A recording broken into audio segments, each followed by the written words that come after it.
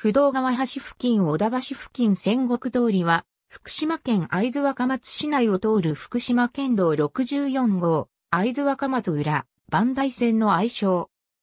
加えて、本項目では、道県道の小田橋通りについても記述する。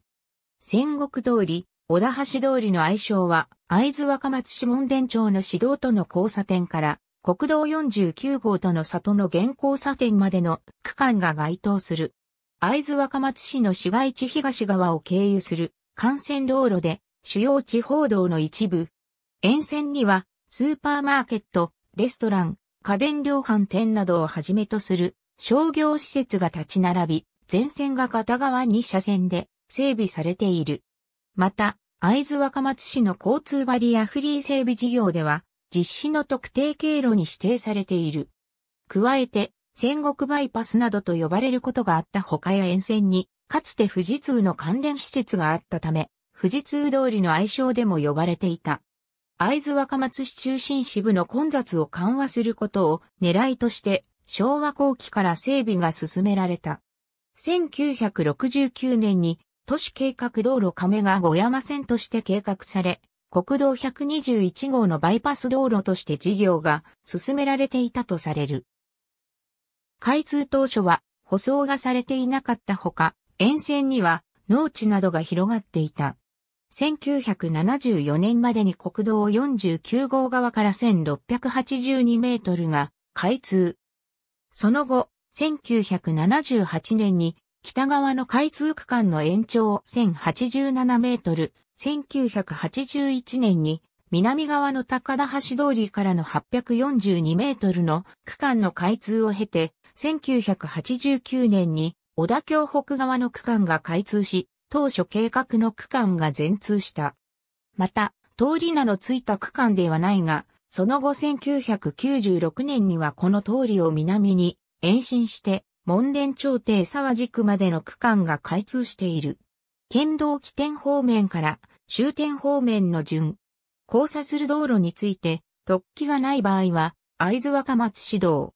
交差する道路については、左側が上り線側、右側が下り線側。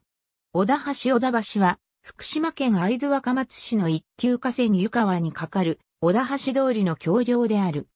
昭和50年代には1975年にかけられた木橋が用いられており、重量制限があり、一方通行であったほか、車道の幅員は3.6メートルであった。その後、1977年から1982年にかけて改築が行われ、現在の橋梁が完成している。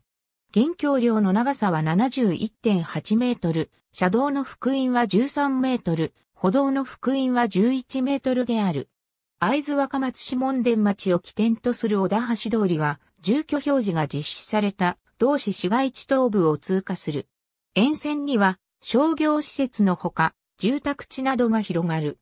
また、会津松平指定園や鶴ヶ城公園などの観光地も沿線にある。続いて、北に続く戦国通りも、住居表示の実施された同市市街地東部を通過する。この区間でも沿線には商業施設が立ち並び、住宅地なども広がる。山見町以北では住居表示未実施の地域を経由し、終点の国道49号との交差点に至る。この区間でも住宅地などの中を通過する。